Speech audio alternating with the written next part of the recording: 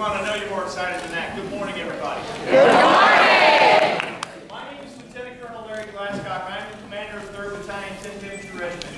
Uh, and on behalf of uh, Major General Smith, the commanding general of Fort Leonard Wood, and Colonel John Crucial, the commander of 3rd Chemical Brigade, I want to welcome you to this morning's ceremony.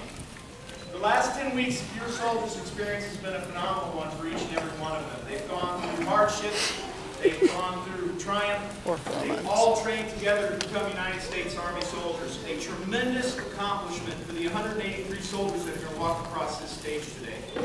Part of their success is because of the support and care that you've given them, not only the course of the last 10 weeks, but the course of their lifetime. So I want to thank you for your service to your young soldiers today. It means a lot to them It means a lot to us as well.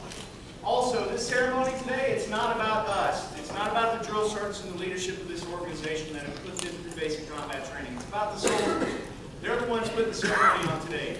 So it's for you as well. I want you to get involved. I want you to get fired up. And I want you to stay motivated. Feel free to come forward and take pictures of your soldiers, yell at them, whatever you want to do. I was just wondering. Okay? So, So have your a dad's good not. time. Just because if you get if you run out of room on your card, All. Because I didn't charge it last night.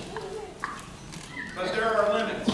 50, it's about a 50 mile radius in any one direction. So you can go east to Rolla, west towards Lebanon, up to Lake Leos.